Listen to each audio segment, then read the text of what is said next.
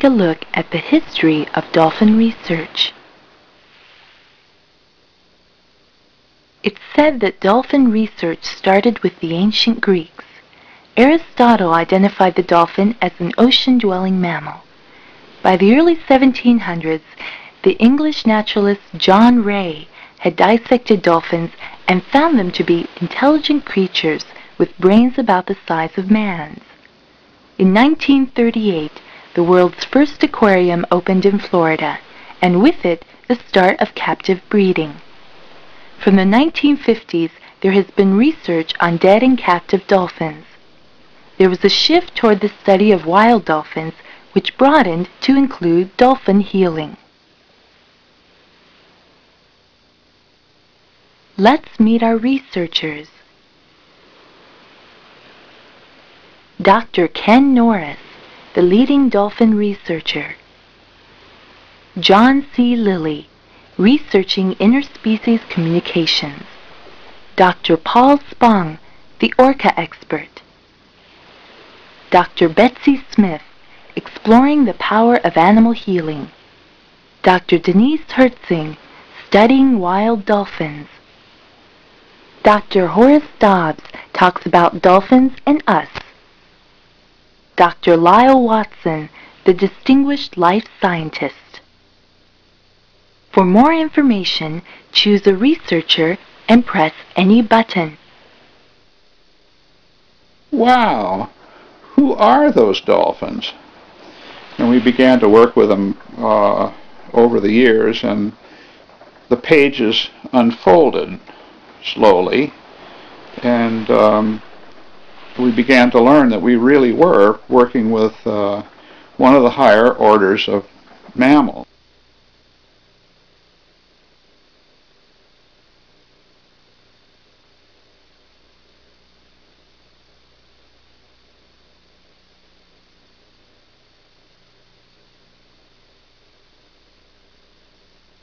Well, I wanted to study the brain and the mind, and this is the only way you can get the mind isolated. So the isolation flotation tank was invented in 1954.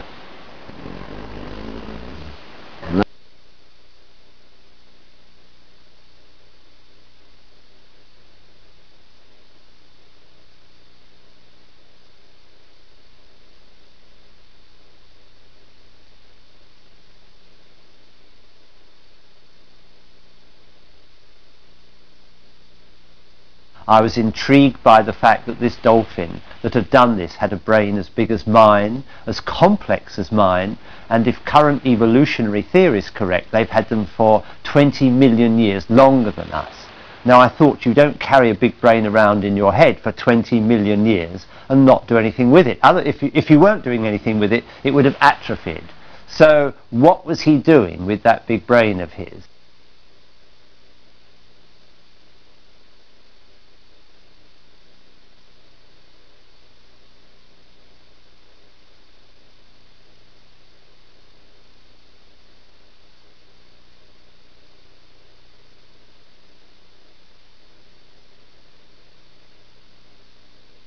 Did understand that this was an animal that possessed a huge brain, and uh, very little was known about it.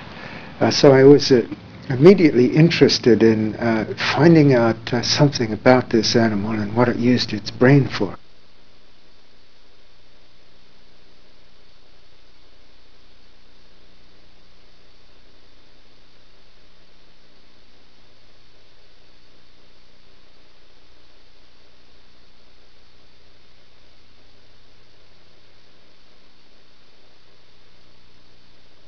The dolphin is in the water. So instead of just using what we call animal-assisted therapy, you are also using aquatic therapy. You have the chance then to bring the two therapies together at the same time.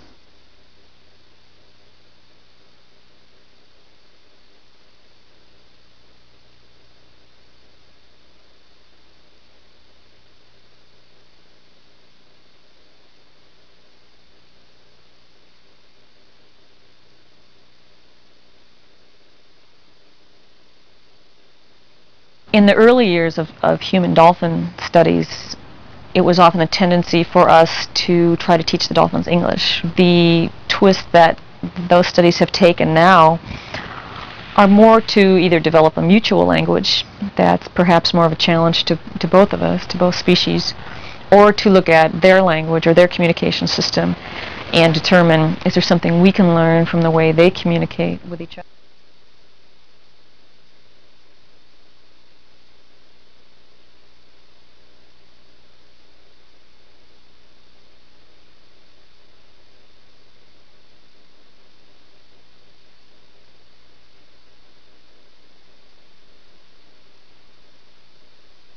Have a feeling that overtures are being made to us and we're just not responding. We just haven't haven't got it yet. We do have a, a racial memory of being more aquatic than we are now. And I suspect this lies behind our fascination with aquatic creatures like dolphins.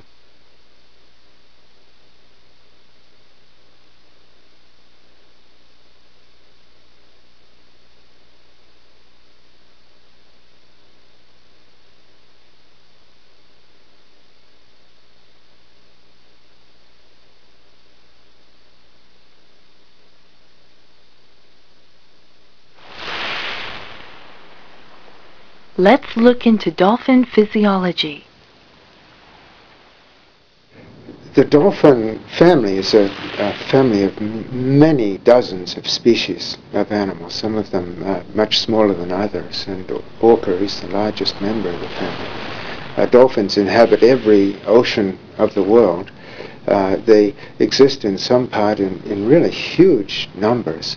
Uh, dolphin families can have literally thousands, or at least dolphin groups, communities, uh, not really sure of the correct social term, uh, can exist in, in many thousands of individual animals.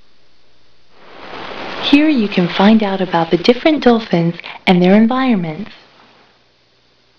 Make your selection, then press any button.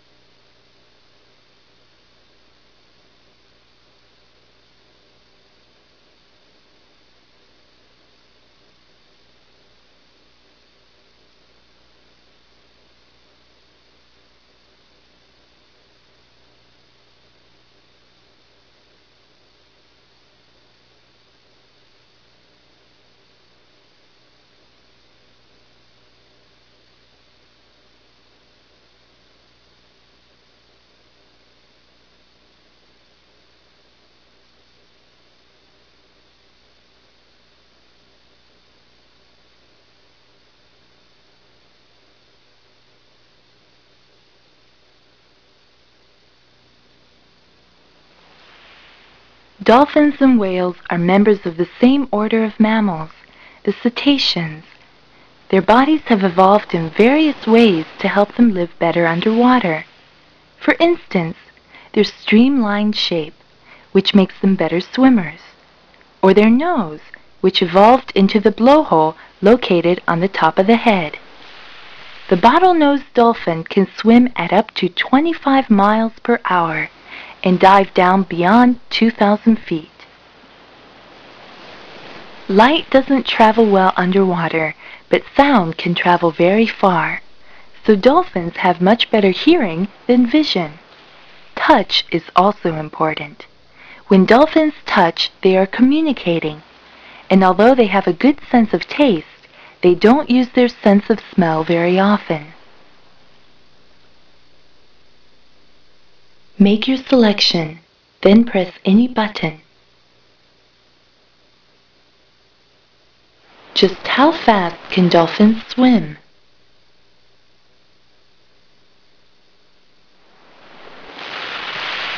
Most dolphins can swim up to 25 miles per hour, which is very fast. But the fastest of all is the orca, which can swim at an amazing 40 miles per hour.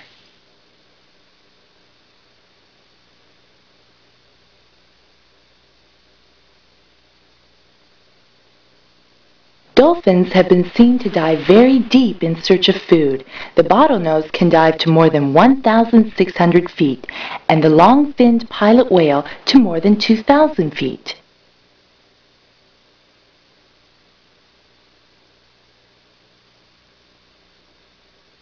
Opinion varies, but Dr. Norris says that dolphins sleep in close groups with their echolocation inactive and one eye kept open, the one facing the other dolphins. There is always one dolphin on guard duty to watch out for predators.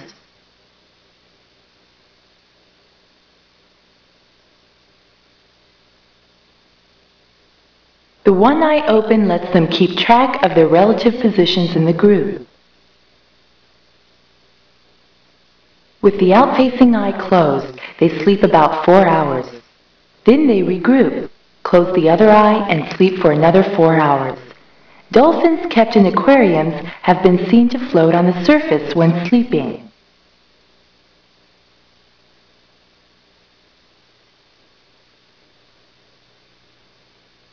Um, well, dolphins have brains uh, anatomically um, as, as, as large as ours and as, as complex as ours. We think that our higher levels of, of mental processing of data and the intellectual processes associated with the appreciation of music, etc., are, are associated with the cerebral cortex, the upper layer of the brain. The bigger the surface area, the more cells you can get there. And that is one of the parameters that we associate with high intelligence and high intellect, and the dolphins are even more, their brains are more fissured than ours, and therefore able to uh, accommodate more cells and therefore on that anatomical basis we would say that they have a capability for intelligence equivalent to that of human beings. Make your selection, then press any button. If we compare brain weights, whales have the heaviest brains, followed by elephants, dolphins, humans, and chimpanzees.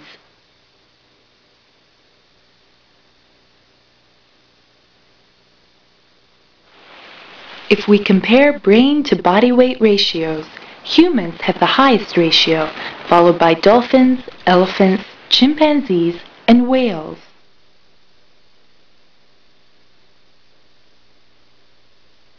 So I think being in the water stimulated all those things, and probably developed um, brain complexity in cetaceans as it has in us. In the same way, it seems to me that the the brain, the big brains of dolphins came about entirely because of their retreat to the sea or their aquatic move. They left land as fairly simple, uh, brainy in the sense that a, a, a, dog or a weasel is, but not bright in the way a dolphin is. So something must have pushed them into that, and I think it was being in the water that did it. Uh, it seems the evolutionary line runs from the land to a riverine situation and from there into the marine environment. Much has still to be discovered about the dolphin's evolution, but the ancestor of the modern dolphin is thought to date back about 20 million years. Let's find out what a dolphin's brain is really capable of. Dolphins have memories which uh, seem as good as ours. Um, we have to split uh, uh, phone numbers up into three digits at the first and four at the end because our memories begin to fail when we get seven uh, uh, unrelated things like numbers lined up.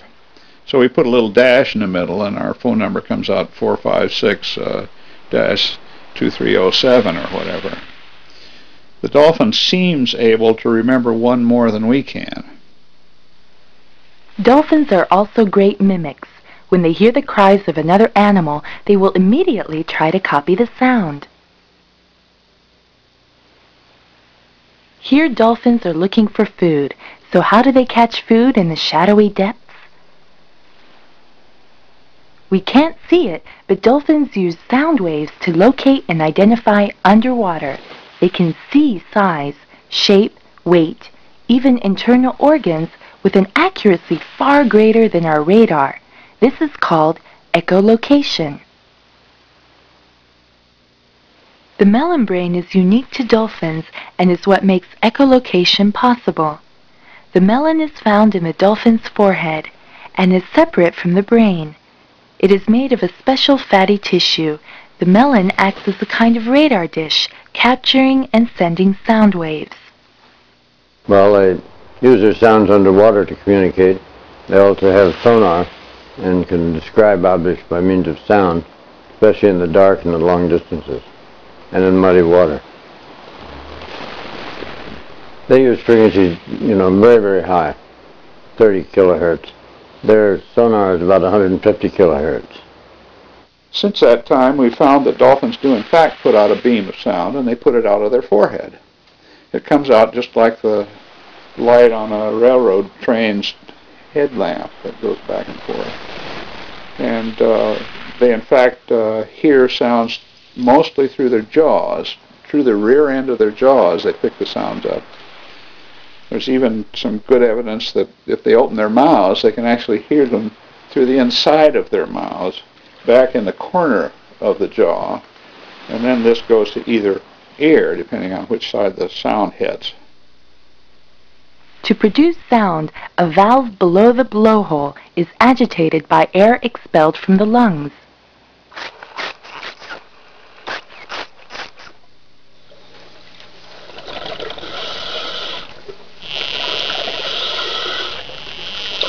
This dolphin seems to be searching for food. Let's watch for a while.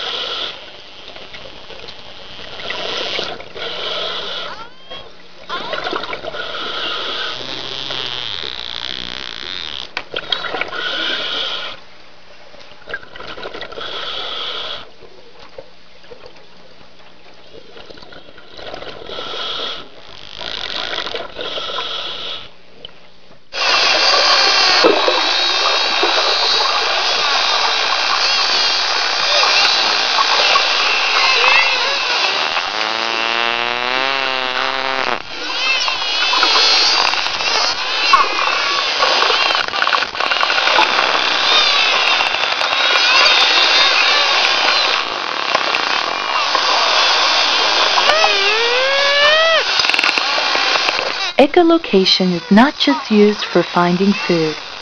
By sending a powerful sound burst at its prey, the dolphin can disorient the prey and make an easy kill.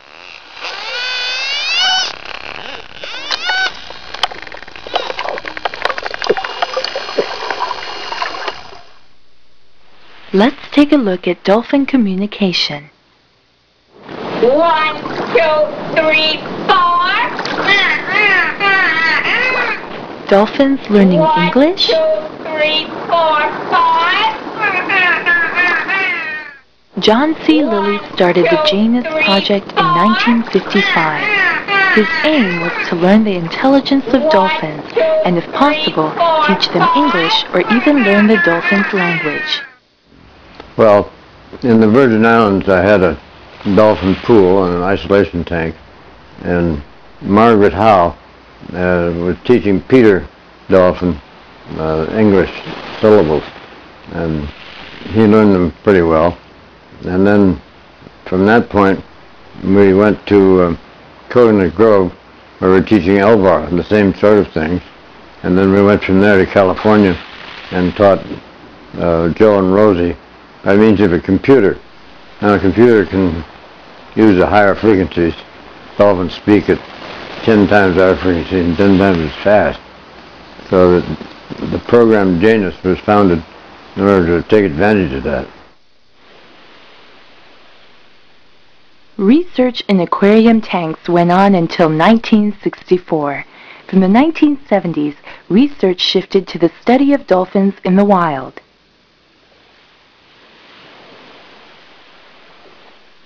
One result of this was new information on the different ways dolphins communicate, information on the voice, on gesture, and on touch. The jump was found to be a way of communicating location, the crash of reentry leaving bubbles for others to echolocate.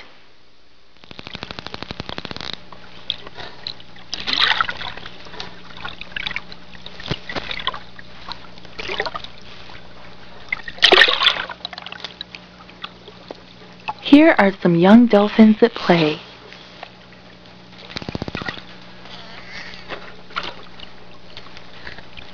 Touch plays a very important part in communication among dolphins.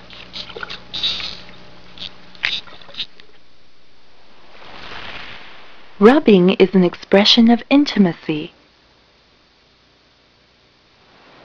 Head to head is used to show anger and aggression. As is open mouth confrontation or raking. Let's look more closely at vocal communications. When a dolphin sees someone it wants to talk to, it calls its name. The system is similar to telephone calling. Inside of a school, if one animal mimics the other, that phone line is open. Of course, everybody can listen in. It's a, it's a party line. But uh, that's the way much of the school is organized. Here are three forms of communication used by Atlantic spotted dolphins. Please select an example. Make your selection, then press any button. We also use uh, burst pulse sounds, which are another kind of social sound. And this is an example of a burst pulse sound. Um, this is, happens to be a synchronized squawk. This is a group of males that are chasing, male spotteds that are chasing a bottlenose dolphin who happens to be an, an, intruder in this case. And so they're coordinating their behavior, they're synchronizing their swimming, but they're also synchronizing their vocalizations. And it's a very powerful sound. As you can see, it's very white and bright, so it's very intense.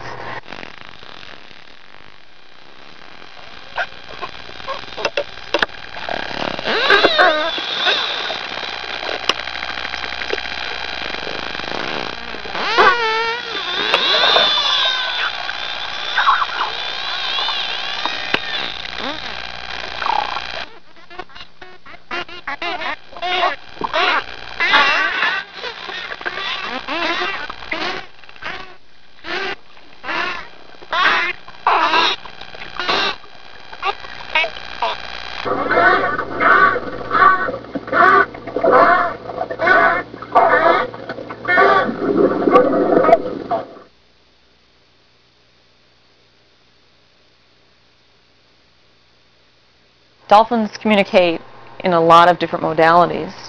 The one we've focused on over the years has been acoustic, so we've looked at their sounds. And what we've done over the years is to try to track individuals, uh, put their sounds on computer. Um, for example, here there we'll see some uh, signature whistles of an individual we call White Patches. She's a young adult female that we've known. And they appear to use them both to express who they are. For example, a mother might make her signature whistle and then her offspring recognizes that whistle and will reunite with the mother. Or in some cases, it might be another dolphin using that mother's signature whistle to initiate contact with her. So in essence, it, it possibly functions as a name.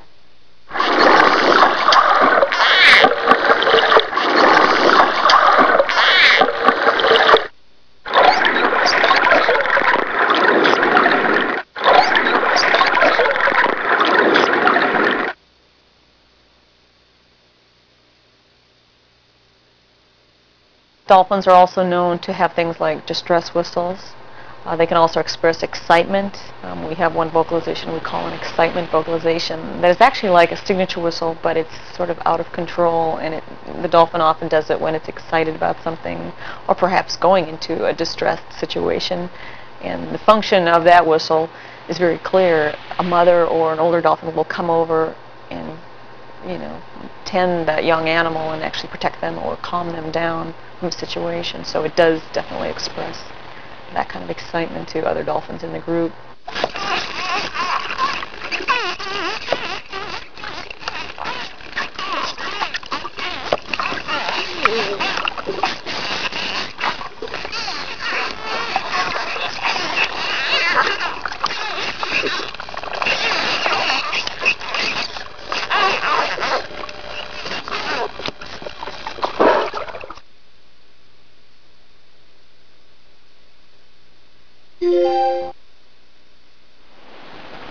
Here are some recordings of orca voices. Please select an example. This is orca echolocation.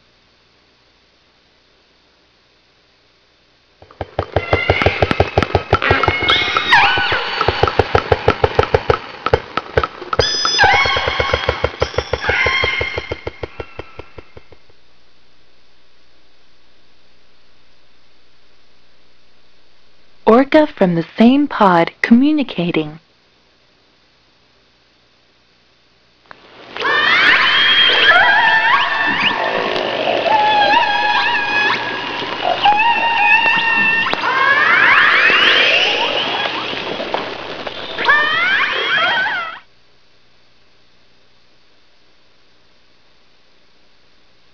This is two adult orca calling each other.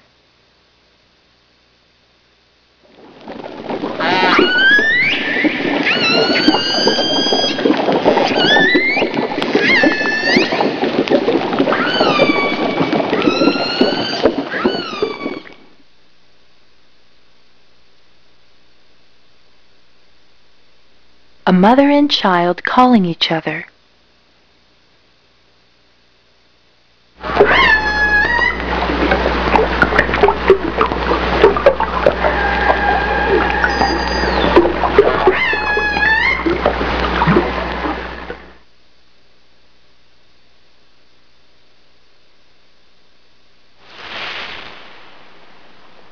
Let's take a look at the dolphin community. Most dolphins live in groups ranging in size from a few individuals to several thousand animals. Dolphins are perhaps the most social of all animals. The young, the old, male and female all cooperate together in a kind of mega family. The family protects itself, feeds together, and in nurseries the older animals teach the young. Let me say that the magic of the school is quite real and it depends on a system within the school in which all the members are a part and in which they must suppress their individuality or it won't work. That means that in the split seconds during an attack, the animals become ciphers in a supraorganismal organismal school. They are parts of something larger than themselves. That's the essence of cooperation. They've given themselves over into that cooperative system to a degree that very few other animals on Earth have, I think. Within each pod are groups organized according to age. Let's look at this with the Atlantic spotted dolphin. Please choose from these different groups. Make your selection, then press any button. The male spotteds are a bit different. They too grow up and change roles, but what happens to them is as they're growing up and getting mature and moving into sexual maturity, they actually form very tight coalitions with each other. This is where they learn how to court females, how to get into a lot of trouble as well.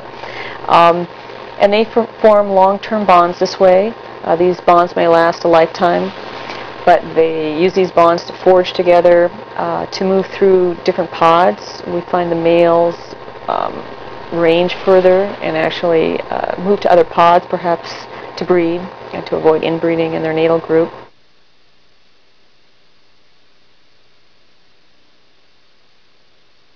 One of the first things that we noticed with the females was that they would reach a certain age, about 9 or 10, and they would be moving into the age class and the, the degree of spotting that we would note as sexually mature. As they're getting to that age, they start taking on roles of babysitting younger dolphins in their group and taking those responsibilities, whereas a few years previous to that, they may have been babysat themselves. Shortly thereafter, in one or two years, they themselves are pregnant and having their own offspring. So in some ways, it's, it's a training for them to become more responsible, for learning how to communicate urgency and things to younger members of their society.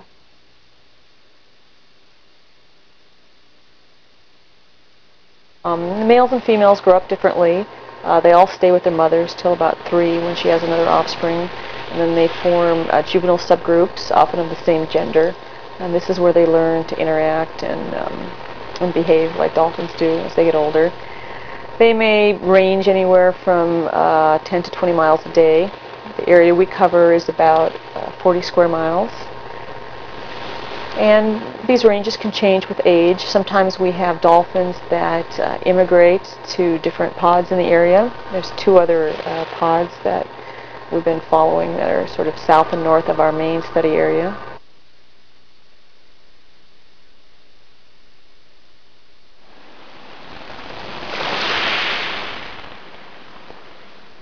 Like other long-lived social mammals, they invest a lot in their offspring. They have one offspring at a time, at least for the majority of the time that we know. Um, they may spend three to five years uh, tending that offspring. Uh, the young nurse, for up to that period, up to three to five years, uh, they're certainly weaned and learn how to eat fish during that period of time.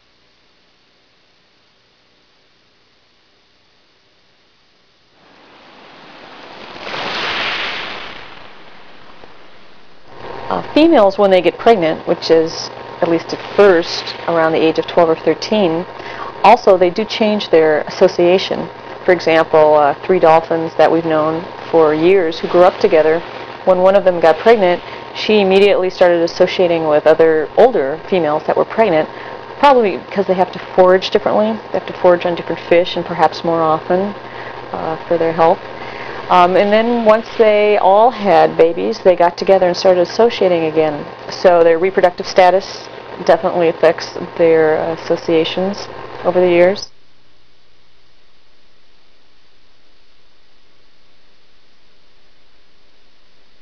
Make your selection, then press any button. For example, Dr. Norris told us that at one time, one of the two dolphins he was working with fell ill.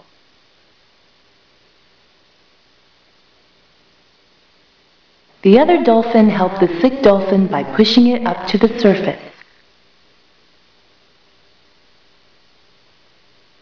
and kept it there for a week without eating or sleeping the whole time.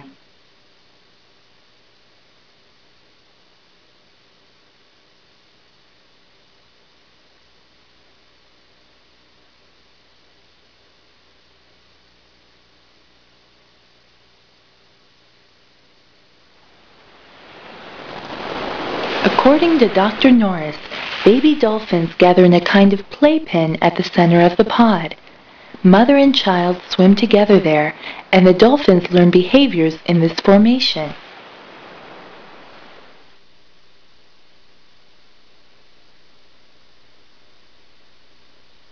within the population, the, the communities are fairly highly structured. Uh, the northern resident community has 16 pods, and pods are uh, very closely related groups of families, uh, basically groups of, of sisters and their children or cousins and their children. And these are uh, groups which will relate to each other on a, on a fairly constant basis throughout life. But within those pods, there are nuclear family groups, and we call them matrilineal groups, uh, which consist of basically a mother and her children, and very possibly the mother's mother is also present. And these individuals in these nuclear families, these matrilineal groups, will stay together every day throughout their life.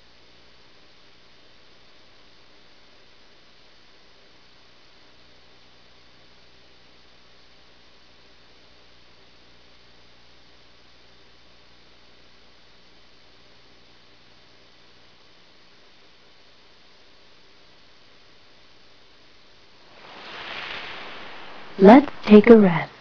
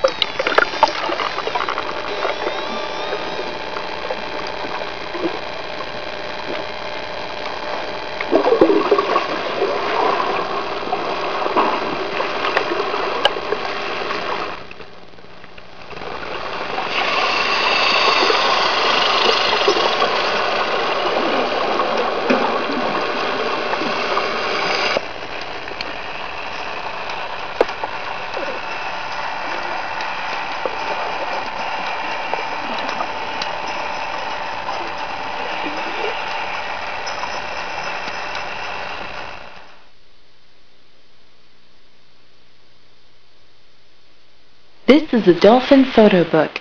The directional button turns the pages one at a time. A and B buttons make the pages turn automatically, and button C closes the book.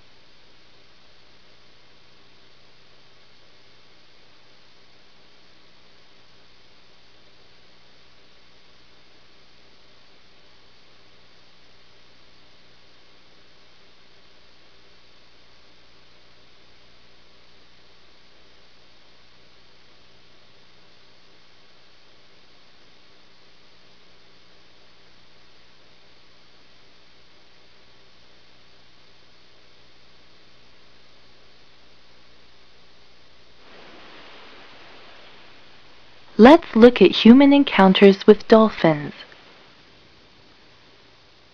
Many people who meet dolphins now have an oral or written history which suggests that these were once terrestrial animals who shared our lives and spaces and only secondarily went back to the ocean.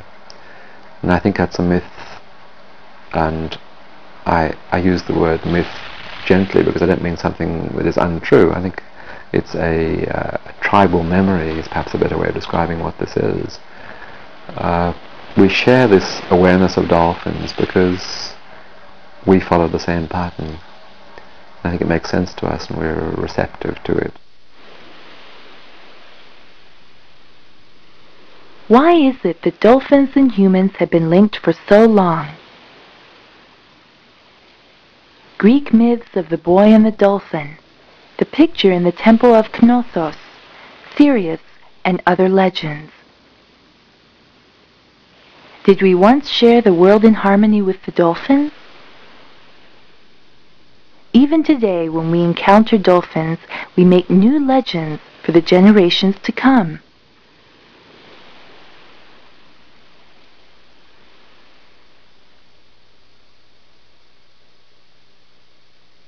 Make your selection, then press any button. And I was floating around in the tank one day and wondered what it would be like to float around 24 hours a day. And so I found the dolphins. They would act as if they were taking me into a dolphin group mind. And I'd say, oh, no, no, I can only speak with one dolphin at a time.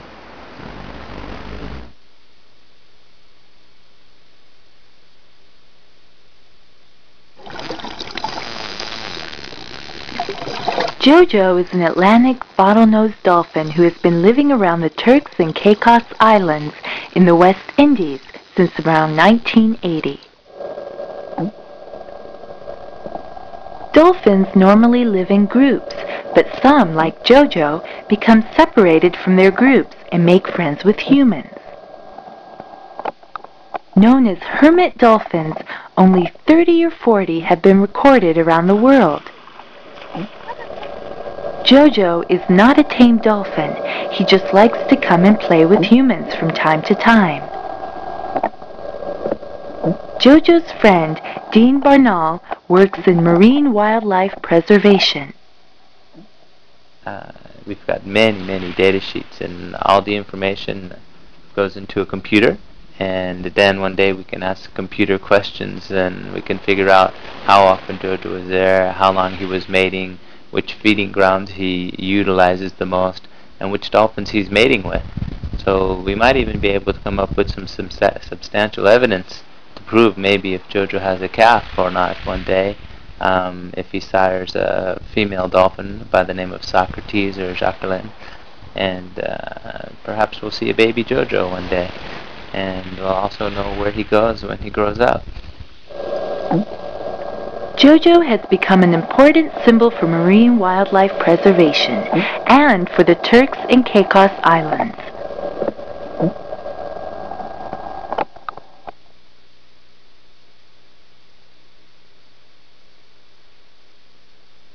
um, I had an encounter off the Isle of Man with a friendly wild dolphin. Now these are dolphins that have separated themselves from their normal contact with the school of dolphins and are seeking human company. And I had the magical experience of seeing this dolphin come up uh, behind my son and then lift my son up in, on his head and then give him a ride around the harbour at Port St Mary. Um, and so here was me, a medical scientist in the 20th century, watching a story that could have unfolded 2,000 years ago, a boy riding on a dolphin. The Greeks made statues of it, they put it on their coins and so on. So when that happens, your destiny is changed. And really that was a changing point in my destiny.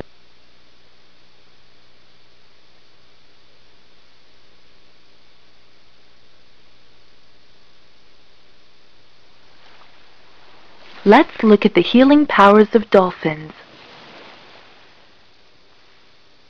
I was working with another friendly dolphin off the coast of Wales, and I mentioned this. I was making a television film uh, called uh, Bewitched by a Dolphin, and uh, I mentioned this in the hotel where we were all staying, and a lady came up to me and said, would I take her father out to see the dolphin? She said, he's a chronic depressive. He hasn't worked for 12 years. And so we took this man called Bill Bowell out to see the dolphin. And he had that haunted look that clinical depressives have. People who are in depression find that the world around them is so severe that they can't, they can't take it. So they bring an invisible barrier down. And they appear to be normal. There is nothing anatomically wrong with them which indicates that there's anything wrong. But they just can't work on the mental level with other people. And so we took this man out to see the dolphin and we put him in the water with the dolphin and I have never before seen such an instant bridge formed between a wild dolphin in the sea and a strange man. And um, there was something happening. We could see it there. Uh, and his wife, who was in the boat, saw it as well. And when we pulled Bill out of the water, eventually, his wife started to cry. And she said, I've just seen a trace of the Bill that I lost 12 years ago.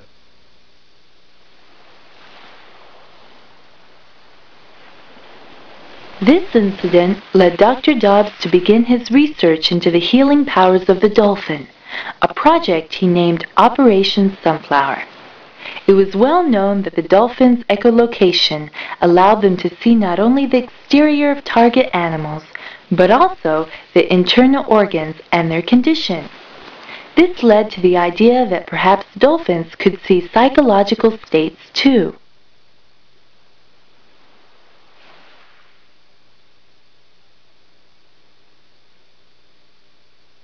when a dolphin comes towards you and when a dolphin sounds you, you can feel it through your body. Some people feel it more than others. And it's like getting a this blast through your whole system.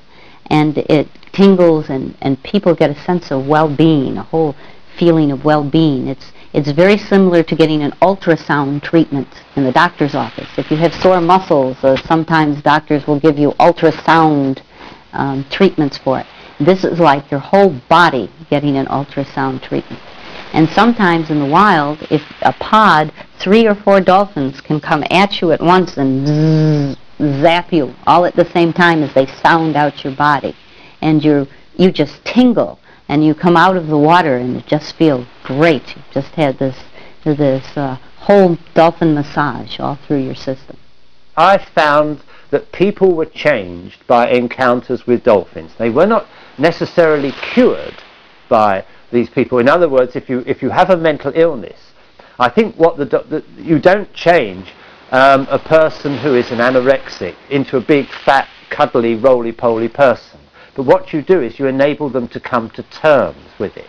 And I think that the way in which the dolphins are effecting this help, and I won't call it a cure, but in, in is, is, that they actually trigger the, a, a mechanism that we have inside us which enables us to repair ourselves, to bring ourselves back into balance. There is still much research to do on the healing powers of animals, and already there are people who have made false or misleading claims. Um, one of the reasons is that the dolphin can then display all of his natural behaviors, which are curiosity, playfulness, interest in other beings. And all of these things then the dolphin brings to the therapy situation. And in the open sea, he can do this naturally, he can do this because of his choice. And this is very important uh, to me that we not exploit the dolphin, that we not misuse the dolphin that we meet uh, the dolphin on his own terms in his own place. Make your selection, then press any button.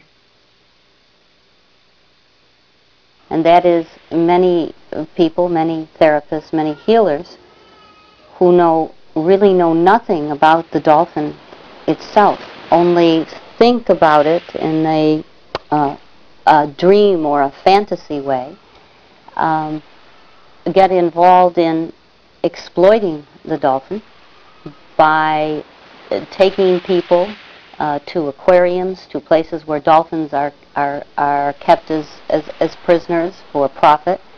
And then they, in turn, uh, have begun to charge people for this activity and calling it healing when this is just not the case. This isn't what, what is going on.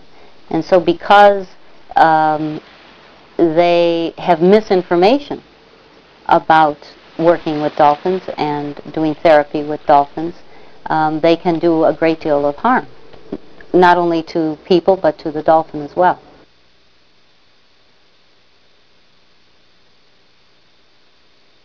There are many, many choices of animals, particularly horses. Riding therapy can be very, very effective. Many of the children that I've worked with with the dolphins also um, have gone and worked with horses when they have finished with the dolphins. Um, the, the water, the aquatic therapy is always available, whether you live by the sea or you have a pool. Just uh, having the handicapped person be able to be in the water, um, do different activities. There's very specific activities that the person can do um, to help them. So there's lots of different um, ways that people can find to use what is around them, to use the environment that they live in. I happen to live by the sea.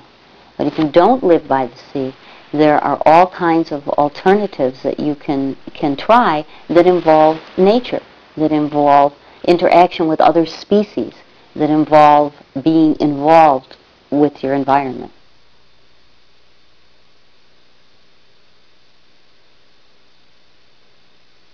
I think the way in which dolphins are affecting human beings is to actually use ki energy, which is defined as the essential life force in traditional Chinese medicine. And I think that what the dolphins appear to be doing is channeling or directing ki at the people who have encounters with them.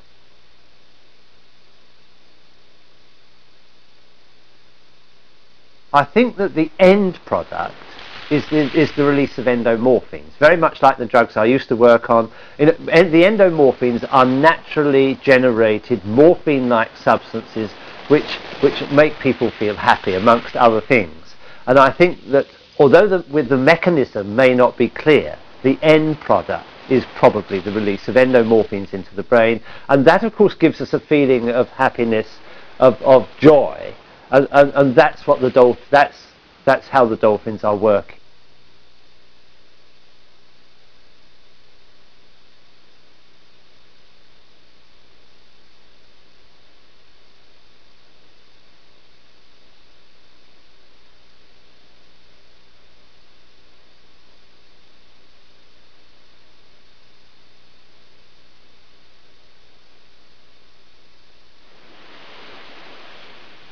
Let's look at our lives with dolphins. This is an edited version of a film about the release of a dolphin from an aquarium in Brazil. I used to train the television star Flipper, but for the last 23 years, I've been working to release captive dolphins back into the wild. This rescue would put all of my skills to the test. Ironically, the Brazilians also named their dolphin Flipper. He's a trained performer and had moments where he related well to me, but nearly 10 years in this tank have taken their toll. Flipper shows signs of serious depression. His snout was scarred from battering his head against the tank. His eyes were burning and shut from the chemically laced and filthy tank water. I wish you could smell it. It's absolutely putrid. This is black. Flipper was close to death. An angel appeared. A WISPA benefactor enabled us to rent a private helicopter and bypass military red tape. I stayed focused on our efforts, but couldn't help think about Flipper. It must have been confusing for him to be pulled from his tank. Dozens of hands, loud voices, pressing crowds, chaos. Flipper was taken to a carefully prepared ocean enclosure close to a large wild dolphin community. For the first time in nearly 10 years, Flipper would feel the rhythm of the tides where the healing process could begin. We had to move quickly. But I questioned, what did he have left? I took a deep breath and looked for a sign that he was ready for the weeks of hard work ahead. When a dolphin gives up, it doesn't eat. Would Flipper accept his first fish? But after a few weeks, he caught his first live fish in 10 years and turned up his snout at anything that didn't swim. His wild instincts were beginning to return. This is behavior we never saw in captivity. Flipper's actually playing and having a good time. The fact that these wild dolphins come here every day is a big advantage because they do stop here and he goes up to the fence and something's happening.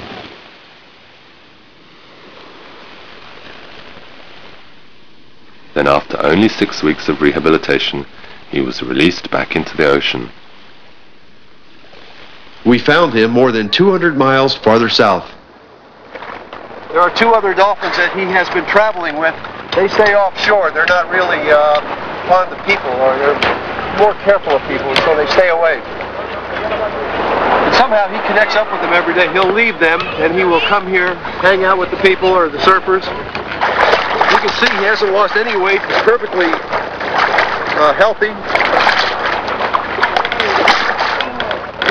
He looks great. he looks uh, marvelous. But this had been a tough rescue.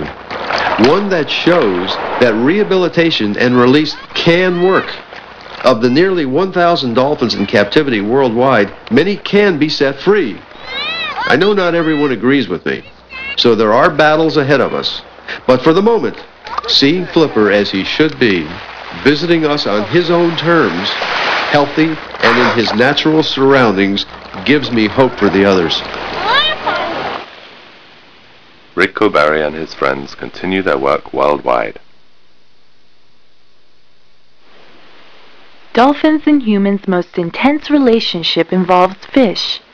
Because of man's dependence on fishing, dolphins are increasingly seen as rivals for rapidly depleting fish stocks. Many fishermen see dolphins as nothing but pests.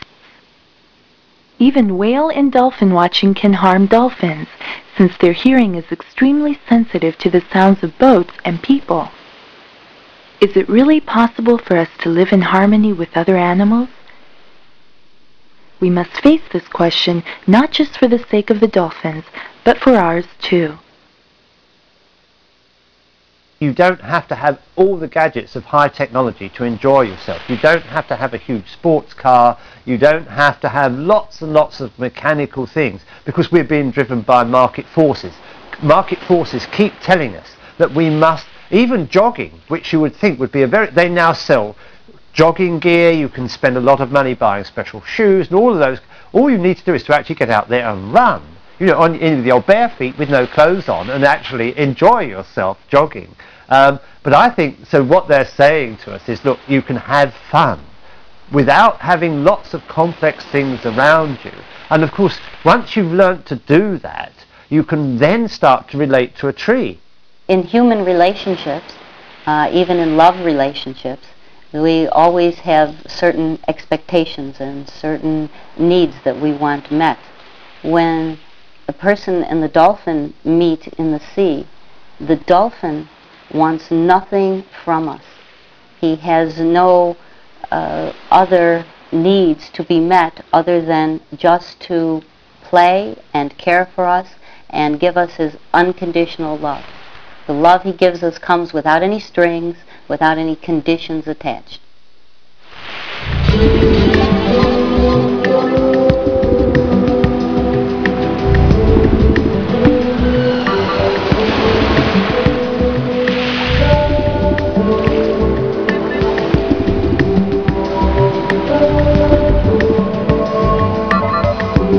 Dolphins and whales may be agents of echo, the way we are coming slowly. But you have to believe all this. the problem the mind are no limits, but watch out for the limits of the body.